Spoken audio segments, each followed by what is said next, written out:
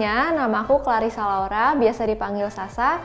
Dan hari ini aku akan kasih tunjukin ke kalian tutorial monokromatik pink makeup look dengan hasil kayak gini. Dan tentu semuanya pakai produk lokal loh. Oh ya, ada satu produk yang multifungsi banget di video kali ini, jadi kalian harus tonton videonya sampai habis ya. Enjoy! Pertama-tama, langsung mulai aja kita mau gambar alis yang botak ini. Aku pakai Esau Eyebrow Pencil. Dia enak, udah ada spulinya juga. Seperti biasa, aku bakalan frame dulu alis aku. Nanti kalau udah baru kita isi. Terus karena muka aku kering, jadi aku bakalan pakai primer dari makeover ini yang hydration serum. Ini enak banget dipakai di kulit kering karena kayak ngasih hidrasi dulu gitu di muka aku sebelum ditambahin makeup yang lainnya. Udah gitu, aku langsung pakai aja. Terus tadi hmm, aku cukup satu pam aja sih untuk satu muka. Soalnya ini emang enak banget sih, ngelembapin banget. Jadi satu pam aja udah cukup untuk kulit aku yang bisa dibilang kering banget. Nah, masuk ke bagian complexion, aku mau pakai Wardah Insta Perfect BB Cushion. Ya, ini tergolong baru sih produknya. Terus aku mau pakai, tapi mau pakai aplikatornya brush aja, soalnya berdasarkan pengalaman aku, kalau pakai sponge itu entah kenapa coveragenya tuh jadi lebih berkurang, tapi kalau pakai brush tuh bisa lebih dapat coveragenya. Terus ini kan finishnya tuh dia klaimnya emang matte gitu ya dan emang bener sih ini finishnya tuh lumayan matte. Jadi kalau kalian yang punya kulitnya sama nih kayak aku kering, lebih baik kalian selesain dulu satu bagian. Abis itu baru nanti lanjut ke sisi selanjutnya. Kayak ini aku mau selesain dulu nih yang sisi wajah yang kanannya dulu. Kalau udah baru kita pindah ke yang kiri. Soalnya kalau cuman di spread takutnya yang kanan keburu kering gitu kan aku udah selesai nih pakai cushionnya tapi kalau kalian lihat ini redness aku terus di under eye sama ini bekas jerawat dan pastinya kumis nih masih kelihatan dan kali ini aku mau pakai concealer dari makeover. Dan ini kan bentuknya palet ada lima warna. Aku bakalan pakai yang paling ujung sini dipakai jari aja. Habis itu langsung ditaruh di tempat-tempat yang mau ditutupin pakai concealer. Karena ini temanya monochromatic pink, aku mau gunain satu produk dari Emina Cream Mate. Ini lip creamnya yang baru ini. Aku mau pakai nanti untuk cream blush aku, untuk uh, base di eyeshadow sama untuk lipstick. Sekarang kita pakai dulu untuk cream blushnya ya. Kalau udah langsung cepet-cepet di blend karena dia lumayan cepet ngesetnya. Oh ya, kalau kalian pakai liquid lip cream gini untuk jadi cream blush, saran aku nggak usah ditunggu kiri kanan gitu loh. Jadi sama kayak cushion tadi, kalian selesain dulu satu bagian, baru kalian ke bagian yang lainnya. Kayak ini aku nyelesain yang kanan dulu Soalnya kalau enggak takutnya keburu ngeset terus jadinya nanti malah peci di pipi. Usahain keadaan foundationnya tuh masih basah. Lanjut, aku buat ngeset semuanya mau pakai bedak tabur dari Purbasari. Ini bedak taburnya enak sih menurut aku butirannya halus banget.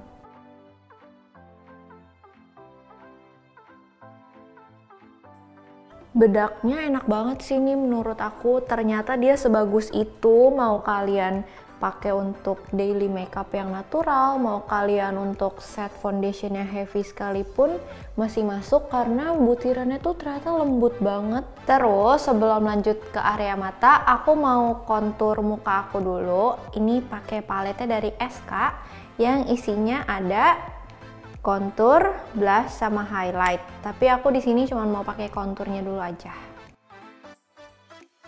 Aku sekalian aja mau kontur hidung aku dulu pakai produk yang sama SK tadi, cuman pakai kuas yang lebih kecil. Oke, sekarang masuk ke bagian mata pakai si Emina Lip Cream Matte ini masih dengan shade yang sama. Tadi pakainya yang Starfish. Sekarang langsung aja aku jadiin buat eyeshadow base-nya ya abis udah ditotol-totol gini, aku sih lebih suka kalau ngeratainnya pakai jari aja, soalnya nggak tahu ya lebih ke kontrol aja gitu rasanya daripada pakai kuas. Ini kan produknya liquid kan, masih basah pas pertama kali ditotolin jadi lebih enak di blendnya pakai jari. Oh ya kalau pakai eyeshadow yang krim kayak gini kalian ngeblendnya sih nggak usah terlalu rapi dulu di awal karena nanti kan pasti juga akan dirapihin pakai eyeshadow yang bentuknya powder. Jadi ini emang cuma untuk base warnanya aja dulu. Terus aku mau pakai warna transisi dulu sebelum lanjut ke produk powder yang lainnya. Masih dari paletnya si SK yang warnanya coklat yang tadi kita pakai untuk kontur aku ambil untuk warna transisi. Lanjut, ini untuk eyeshadow powdernya aku mau pakai dari Mizu yang warnanya pink gini, cantik-cantik banget warnanya. Tapi aku mau langsung pakai ke warna yang terangnya aja, yang ada di tengah. Aku ambilnya pakai jari manis. Terus aku juga mau aplikasiinnya di tengah aja, mulai dari tengah, dibawa ke sudut mata sini yang di dalam. Kenapa aku milih pakai jari? Karena teksturnya creamy banget. Ini eyeshadow palette-nya dan dia kan warnanya shimmer. Jadi ya enak aja gitu kalau pakai tangan lebih rata. Terus untuk bikin dimensi di mata aku, aku mau pakai Mizu lagi yang warna paling tua. Ambilnya pakai brush yang lebih kecil aku taruh di ujungnya aja. Terus aku mau ngeblend yang warna ini yang baru aku aplikasiin pakai kuas yang lebih fluffy begini yang masih bersih. Terus aku mau pakai warna paling muda di sini. Aku mau taruh di bagian sudut mata dalam aja. Kenapa aku timpa lagi pakai ini? Supaya matanya lebih pop. Terus jadinya lebih seger Nah, jangan kaget mata aku udah lebih gede karena seperti biasa aku udah pakai Scott. Sekarang aku mau tambahin eyeshadow di bawah mata aku masih pakai palette yang sama. Aku mau ambil warna yang paling tua dulu. Tadi kan aku barusan pakai eyeshadow di bawah matanya baru di sudut luar. Sekarang aku mau pakai juga yang di sudut dalam. Aku mau pakai dua warna langsung aja dicampurin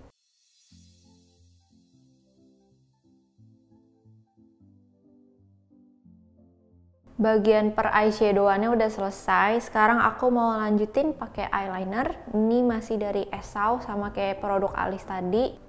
Eyeliner Esau ini aplikatornya cukup keras. Jadi untuk kalian yang baru belajar-belajar pakai eyeliner menurut aku lumayan cocok sih Aku mau pakai maskara pertama-tama tapi aku mau jepit dulu mata aku dulu. Terus baru dipakein maskaranya ini dari Mustika Ratu yang Beauty Queen series. Sekarang masuk ke dalam part favorit aku yaitu pakai highlighter masih dari palette SK yang tadi. Aku mau pakai highlighternya dia yang di sebelah sini.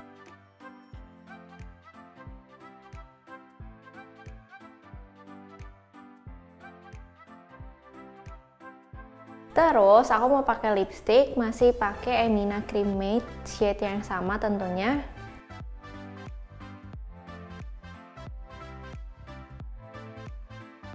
Supaya warnanya benar-benar senada sama matanya, aku mau tambahin ini eyeshadow Mizu tadi, diambil aja pakai kelingking sedikit untuk ditambahin di lipstick aku. Nah ini dia hasil tutorial dari monochromatic pink makeup look yang semuanya pakai produk lokal. Kira-kira untuk next video kalian ada request nggak mau bikin tutorial apa?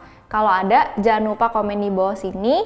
Dan kalau kalian suka sama video ini jangan lupa untuk kasih like-nya, subscribe di channel Sociala Slash Beauty Journal, turn on notification-nya supaya kalian jadi orang yang pertama tahu kalau ada video tutorial baru yang diupload di channel YouTube ini. Thank you so much for watching and see you on our next video. Bye!